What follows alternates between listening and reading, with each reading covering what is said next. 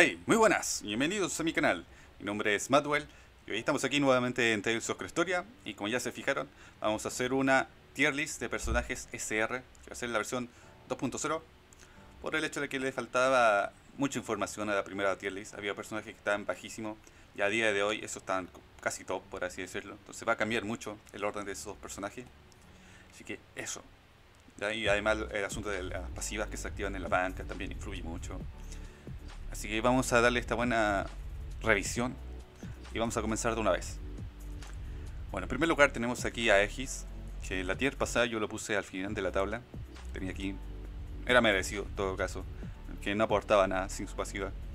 Con la pasiva yo lo pondría acá en C, por el hecho de que da bonificación a la defensa a los monotipos de agua, también da bonificación a la defensa si tenemos algún un equipo de que use lanza. No es mucha la bonificación, pero está bastante bien igual. Simplemente por eso, por el hecho de que es el protagonista y uno de los protagonistas, mejor dicho. Y que se le puede sacar la pasiva bastante, bastante fácil. Eso no va. Aegi en su versión SR no, no, no está para llegar tan alto, así que ahí no va.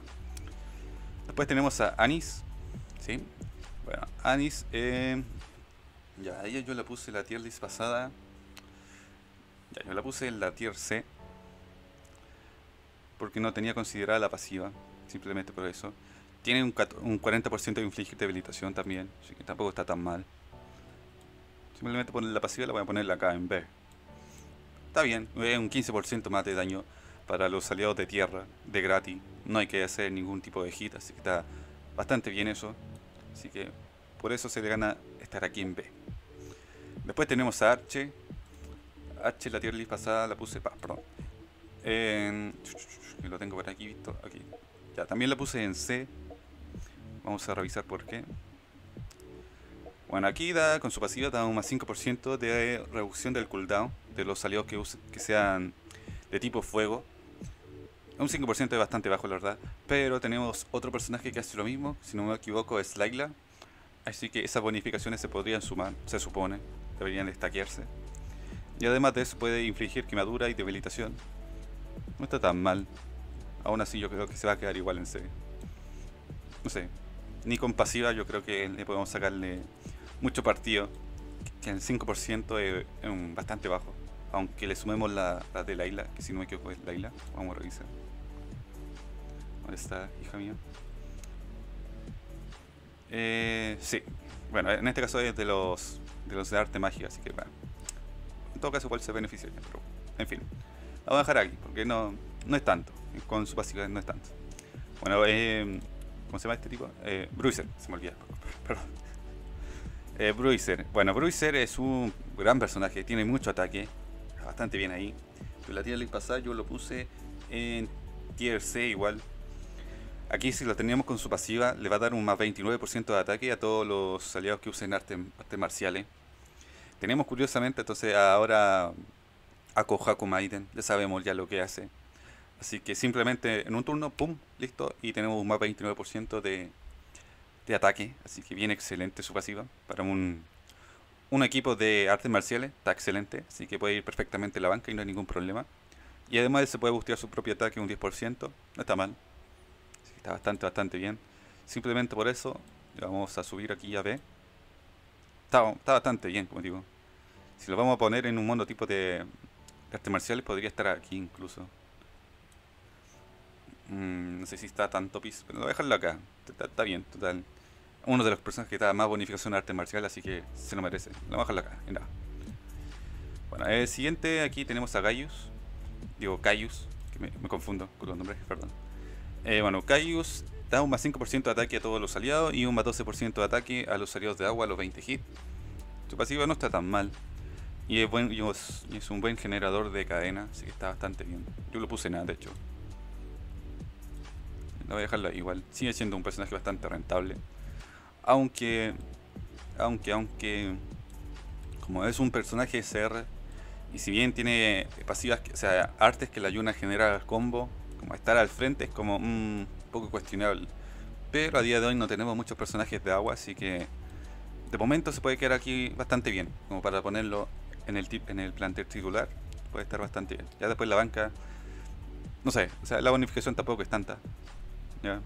Un, tendrían un más 17%, pero no sé. Puede venir bien igual. Esa es, la cosa al final. Después tenemos aquí a Cheria. Cheria yo le puse la tier C anteriormente. Cheria da más un, más 6% de ataque a todos los aliados de tierra a los 20 hit y un más 20% de ataque a los aliados que usen dagas a los 20 hit. Tiene una buena generación de, combo, un 12, 12 hit y su ataque básico ataca 6 veces, así que es un personaje muy muy bueno. Obviamente no tiene mucho ataque, así que su 6 hit en ataque normal no es mucho. Yo le puse la tier list C, la puse acá, por el hecho de que todavía no tenemos equipos de daga, por lo tanto no puede explotar lo que debe. Así que lo voy a seguir dejando acá. Pero aún así, si, salen equipos de daga, podría estar acá o acá. Pero de momento no tiene mucha utilidad si se, queda aquí. Después siguiente tenemos aquí a Dessel. Yo Dessel lo puse la tier C. qué, qué error de mi parte. Pero Dessel es muy muy bueno, muy bueno. En especial si lo combinamos con su compa, bueno, Dessel ya saben, damos más 23% de defensa a todos los aliados que usen artes mágicas. Ya hay monotipos, o sea, equipos de artes mágicas bien consolidados. Así que él puede venir excelente, colocándolo en la banca no hay ningún problema con su pasiva activa. Y tiene un ataque en área bastante bueno, ataca a todos los enemigos y los puede envenenar, así que está muy muy muy muy bien. Yo le voy a ponerlo aquí en porque es, una, es muy buen personaje. Podemos invertir nuestros recursos en él, no, no, no y no nos va a defraudar, así que está muy bien. Bueno, vamos a continuar. Tenemos aquí a, Eleanor, mi querida, mi, querida chica meme. Bueno, en la tier list pasada yo la puse aquí en D. Eh, Eleanor es un personaje que ataca en área, sus dos ataques hacen daño en área. No está mal, no es mucho el ataque que hace, el daño que hace. Con su pasiva da defensa a los aliados que usen, que usen lanza, de momento, como digo, los personajes con lanza todavía no terminan de explotar. Porque no hay, aparte de Aegis como SSR, no hay nadie más. Así que, no sé. Lo voy a dejarla aquí en D todavía. Como digo, cuando salgan mejores personajes de lanza, tal vez, tal vez la ponga más alto, pero por ahora se va a quedar ahí. Pero bueno. Siguiente tenemos aquí a Ellis. Muy buen personaje. Yo la puse en A. Se lo merece. Está aquí muy bien. Eh, Elix, ¿dónde estás? Aquí. Bueno, Elix da con su pasivo más 20% de daño a todo de ataque a todos los aliados de oscuridad a los 20 hin. Ya no es tan difícil obviamente llegar a los 20 hin, así viene bastante bien. Eh, tanto en un mundo tipo de oscuridad, no sé, en algún equipo con, daño en área también puede servir bastante. Obviamente dejándolo en la banca. Y tiene también un ataque que puede generar 10 hits, así que como para iniciar cadenas también está muy bien. Y que puede envenenar de paso, nada mal. Y tiene mucho ataque. ¿ya? Tiene 2260. Es uno de los de los mejores atacantes de SR. Está como en top 3, 4, por ahí. Está top 4 entre los SR. Bastante bien. Así que muy muy bien. Así que se lo merece estar de momento en A. ¿ya? No es tanto como para dejarle en C. Así que está bien ahí. Eso. Bueno, Emil, bueno, ya sabemos ya lo que es Emil, así que no hay mucho de qué decir, simplemente se queda aquí en C y ya, porque con su Willfire ya simplemente lo dejó muy, está muy roto, así que simplemente eso, no nada más que decir. Vamos a pasar al siguiente. Eh, Fara, bueno, Fara yo la puse en D. Eh, ¿Dónde está Fara aquí? Aquí. Fara no es un mal personaje, ya la, usé bastante, sí, tiene mucha utilidad. Porque Farah eh, tiene un ataque que puede infligir debilitación y además tiene una curación a un personaje. Es un 35%, pero aún así no es tan bajo. No está tan mal. Y su pasiva da HP mm, a todos los aliados. Bueno, todos los aliados recuperan un 11% de HP cuando se inicia una nueva oleada. Obviamente esto es para más para, para farmear escenarios así, simplemente. Como para el modo historia. Pero no vale la pena sacarle la pasiva simplemente. Pero en cuanto a sus artes, está muy bien. Se le puede sacar bastante provecho. Así que yo lo pondría aquí en B. Eh, o sea, ah, mejora bastante. Ya. Simplemente subiéndole la, curación al máximo puede rendir bastante bien. La debilitación obviamente está muy bien. También para Rai, por ejemplo. Está excelente. Los que ya tienen, por ejemplo, a Rita ya saben de lo que hablo. De lo bueno que es debilitación. Rita eh, Maiden, por ejemplo, más que nada. En fin, vamos a seguir. Eh, tenemos aquí a Gaius ahora. Eh, bueno, Gaius yo lo puse en la tier A. Es muy buen personaje. Se va a quedar en A igual todavía. Bueno, Gaius con su pasiva da un más 20% de ataque a todos los aliados de fuego, a los 20 hits. Como digo, ya tenemos a Kohaku Maiden, así que él le va a hacer el trabajo a él. Así que él tranquilamente puede estar en la banca esperando, así, de ahí tranquilito. Y todos los demás van, se van a ver beneficios de su pasiva, así que está excelente. Y si es que llega él a salir a combatir, pues puede generar 14 hits, así que viene muy bien para iniciar cadena. Y se bustea el ataque, así que está nada, nada mal. Muy bien ahí. Después tenemos aquí a Genis, o Genius, como, lo prefiero. Eh, Genius yo lo puse en la tier D.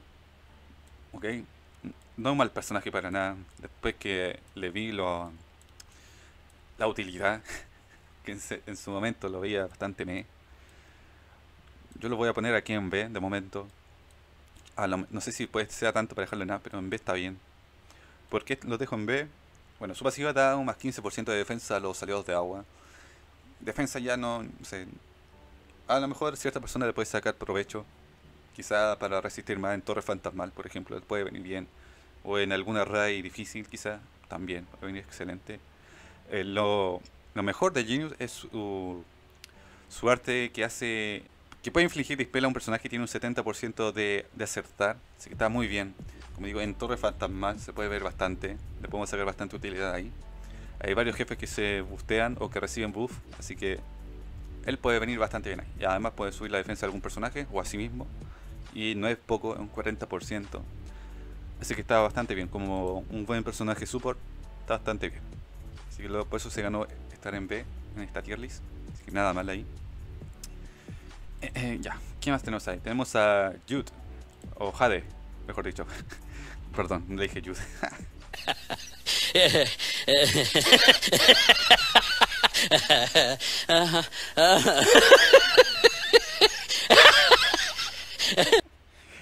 Eh, es mucho para ti, hijo mío, es mucho. bueno, en Jade. Su pasiva da un 5% de probabilidad de, de resetear el cooldown de las artes ya es lo mismo que. ¿Cómo se llama? Que, que, que, que Arche, sí, Archera. Eh, pero eso, no tiene ninguna utilidad. A día de hoy todavía no tiene ninguna utilidad. Sus dos artes son bastante me. Tiene un poco cooldown, pero eh, es malísimo. Otro personaje de lanza, de hecho, también, así que. No sé. Por eso digo que los personajes de lanza todavía no terminan de despegar, dejan bastante que desear. Pero en fin. Bueno, ahora llegamos a uno de los personajes top de, de, esta, de esta tier list, Kanata, en su versión SR. La versión anterior yo lo puse en B. Yo ahora lo voy a poner aquí, en S. Simplemente por el hecho de la pasiva. por eso. Porque aquí, vamos a ver al tiro. Bueno, Kanata con en su versión da un más 11% de ataque a todos los aliados sin importar el evento o tipo de arma.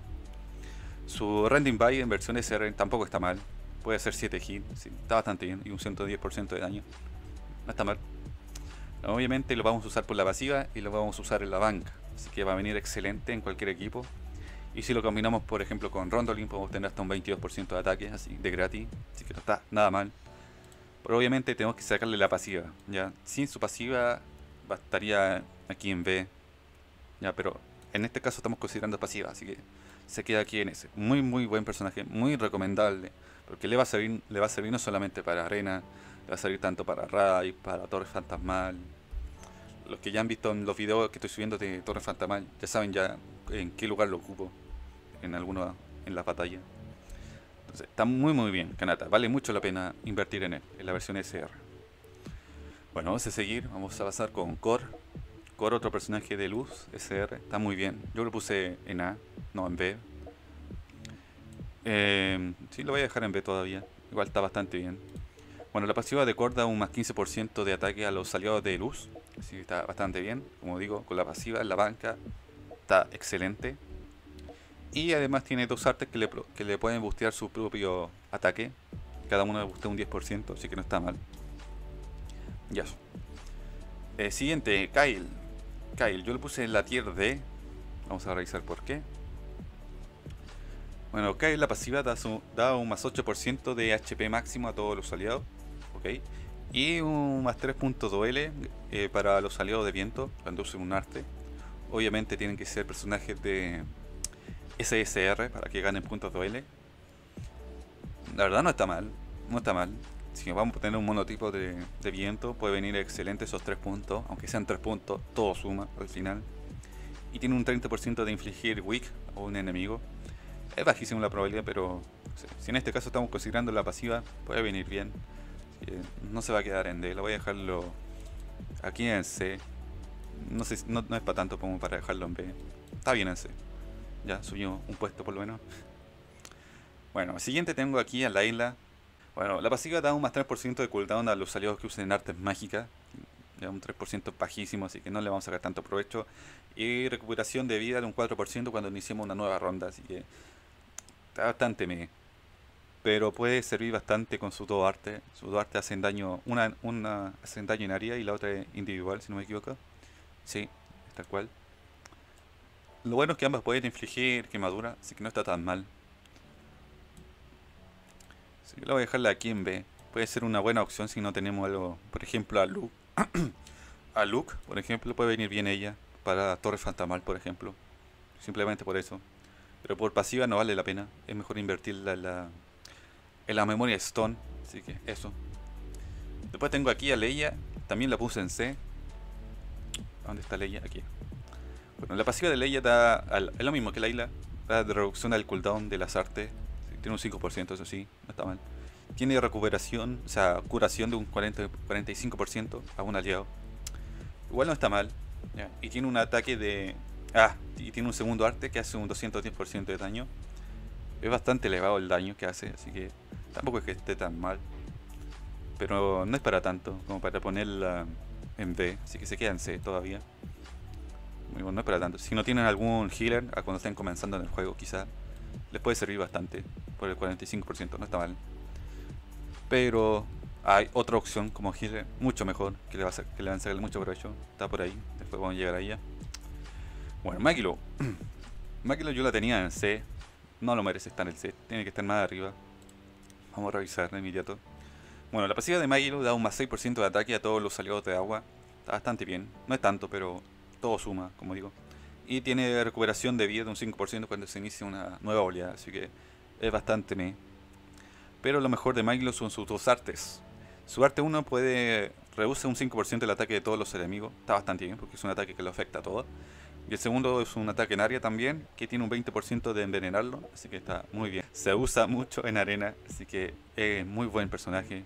Yo le voy a ponerlo aquí, ¿no? porque vale mucho la pena. Tanto subir a ella como subir su memoria Stone. Puede ser muy bien. En cualquiera de las dos opciones viene excelente. Pero como, como, como personaje no está nada mal. Coño, que no me sale. en fin. Eh, tenemos aquí a Malik. Malik, ¿dónde lo puse? Aquí en B. Bueno, Malik tiene un más 20% de ataque a todos los aliados de tierra, a los 20 hits. Y tiene una arte que hace 15 hits. Así que viene excelente para iniciar cadena. Está muy muy bien. Como dije, puse en B. Sí. Vamos a dejarle aquí. Es que. dejémoslo aquí en A. Este personaje es bastante bueno, tanto como personaje como, como memoria Stone. También vale mucho la pena. Porque la memoria Stone da evasión. Así que a todos los personajes que usen espada que puede ser una muy buena inclusión a, los equipos. Muy bien ahí. Y bueno, ahora se viene la, la diosa de este juego, el ángel iluminador, la sonrisa más hermosa del juego, la cosita más kawaii de todas. Ok, bueno, mucho, mucho. Eh, tenemos aquí a Misela. A Misela yo la puse en Tier C. Oh, qué, equivocado estaba. Voy a ponerla acá directamente. Pero se lo merece. Ok, se lo merece estar ahí en C. En S, perdón. C. Bueno, Misela da, con su pasiva da un, más 11% de defensa a todos los aliados, sin importar elemento ni tipo de arma. Tiene una curación de un 40% sobre algún aliado. Es menor que Leia, ¿ya? Pero eh, como personaje en general es mucho mejor. Y su ataque Igniting Pillar hace un 180% de daño.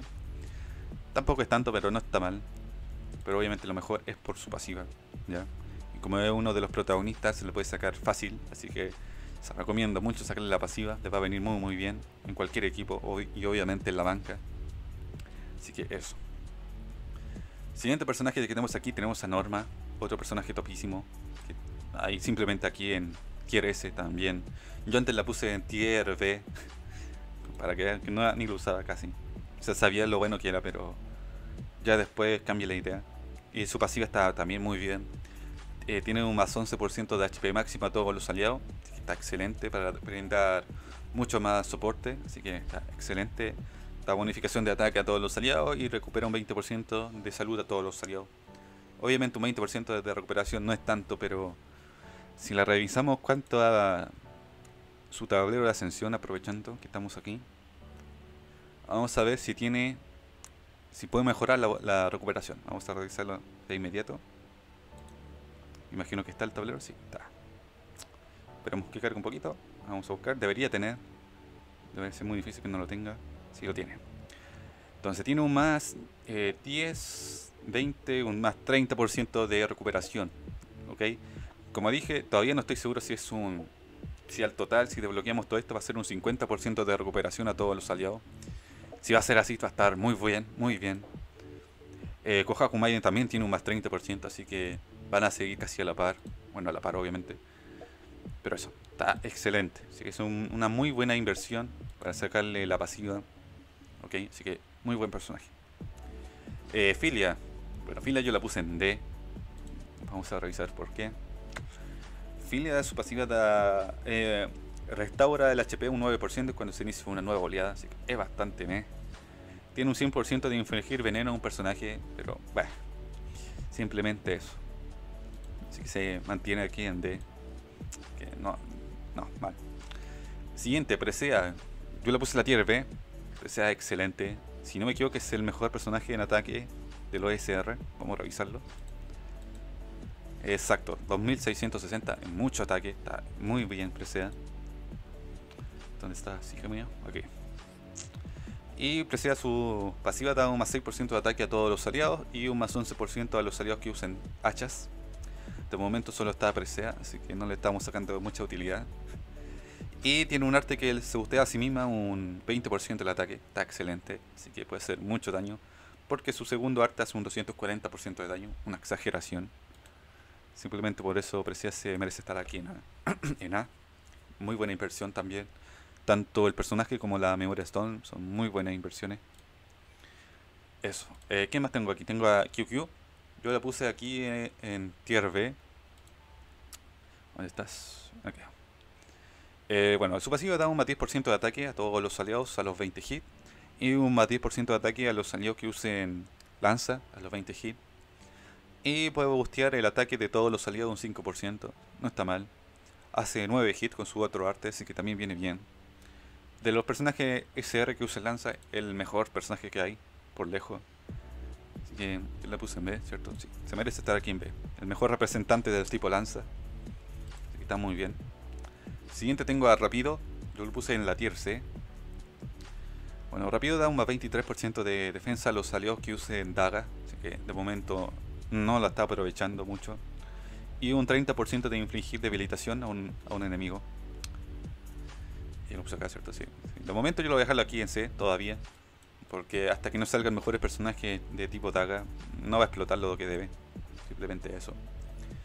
En cuanto aquí a Rokuro ahora, eh, Rokuro yo lo puse en tierra Sí, no hay mucho que decir de Rokuro, está muy bien, pero igual lo vamos a revisar. Bueno, la pasiva de Rokuro da un más 20% de ataque a los aliados de tierra. Es la misma que tiene Malik, que por lo tanto Tener a Malik y a Rokuro con su pasiva de bloquear en la banca, en un monotipo de tierra, va a estar muy muy fuerte. Así que hacen mucho también, un 40% de gratis, está excelente. Bueno, no de gratis, obviamente llegando a los 20 hits, pero pueden agregar aquí si quieren a, Kohaku, enlace el trabajo de una. Así que está excelente. Y además tiene un 40% de infligir Willfire, así que está muy bien como alternativa a Emil. Después tenemos a Rondolin, otro personaje que está muy bien. Yo la puse en la tier C anteriormente. Ahora yo la voy a poner en A porque sirve bastante Rondolin. Se ve mucho en arena porque tiene la misma pasiva que Kanata. Da un más 11% de ataque a todos los aliados. Está muy bien.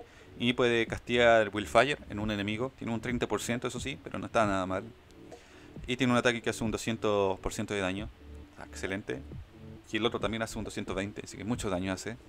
No tiene mucho ataque, pero aún así su utilidad es eh, su pasiva. Ya ponerle en la banca y simplemente eso. Así que puede combinar muy bien, combinarla con, con Kanata en cualquier equipo. Así que eso. Muy buen personaje. vamos a revisar ahora a Rose. Eh, Rose yo la puse aquí en tier B. Sí, en B, ¿cierto? Sí, en B. La vamos a dejar acá. El hecho de que se mantiene ahí va a ser porque, bueno, su pasiva da, da un, ah, da un más 4% de ataque a todos los aliados a los 20 hits. Es poquísimo, 4%. Y el otro da un más 6% de resetear el cooldown de las artes de los aliados que usen espada doble. Tenemos varios personajes que, que usan espada doble que son bastante buenos, pero aún así, aún así, no sé, eh, en B está bastante bien. Igual es, muy buen personaje, igual tiene daño en área, puede bustear el ataque de los demás aliados, así que es un buen personaje support. Pero eso, no le alcanza como para llegar a... así que se queda ahí. Eh, después tengo aquí a Ruka, malísimo Ruka, te cae aquí. Pero con la pasiva, con la pasiva mejora, yo lo creo pondría acá, incluso acá. Porque bueno, Ruka tiene un más 11% de HP a todos los aliados, así que se le puede sacar provecho a eso.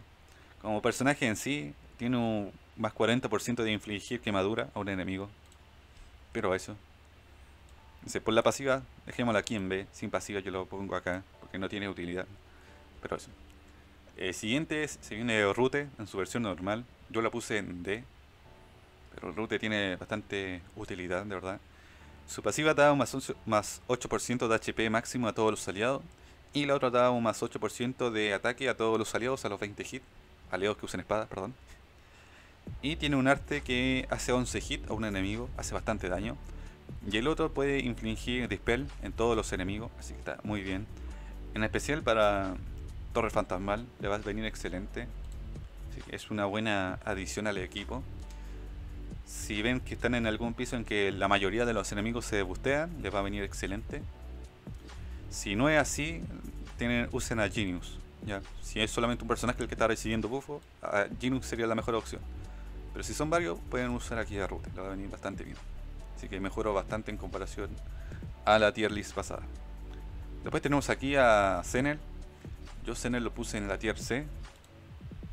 Eh, Zenel. El, perdón. Da un más 11% de HP máxima a todos los aliados de elemento fuego. No está mal y un más 8% de ataque a los aliados que usen arte, artes marciales a los 20 hits.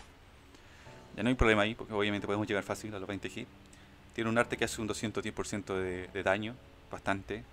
Y el otro puede aumentarse la defensa a sí mismo un 10%. Lo mejor obviamente es su pasiva, está bastante completa.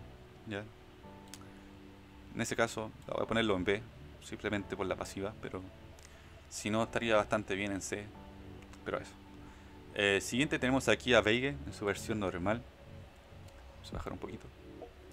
Bueno, Veige, su pasivo da un más 7% de ataque a los aliados de agua y un más 12% a los aliados que usen espadas largas. Está bastante bien. Lo pueden combinar con Kanata, con Kohaku, con Canono Azul o la verde incluso también le puede venir bien. Pero obviamente le van a sacar más provecho con la Canono Azul. Así que está excelente con su pasiva. Y puede infligir eh, Wick a un enemigo, que tiene un 50%. Tampoco está mal. Así que yo lo puse la D. vamos a ponerlo en C. No, perdón, en, en B. Porque mejora bastante con la pasiva. Está muy bien. Y eso. Bueno, después vamos a llegar al otro personaje que va a ser top. Aquí. Bueno, quedan dos top, de hecho. Eh, Vicious, en su versión SR. Aquí, merecido. Estará en S. Está muy bien. Tiene una. Su pasiva que carga acá. Uh, me falta un personaje. Bueno, eh, siendo acá. Bueno. Da más 11% de HP máximo a todos los aliados. Ya. Como es uno de los protagonistas, le podemos sacarle bastante fácil la pasiva. Así que es una muy buena inversión. Además, como iniciador de cadena está excelente. Pero obviamente, su principal función como SR es mantenerse en la banca y brindar sustain a los personajes. Simplemente por eso. Así que mereció estar aquí en ese. Bueno, ahora debería venir Yuna, pero eh, no se me olvidó que no, no, tenía aquí la imagen puesta, así que F por eso. Pero Yuna como tal, como personaje SR, bueno, da un más 4% de defensa a todos los aliados y un más 13% de ataque a los aliados que sean de elemento viento, a los 20 hit.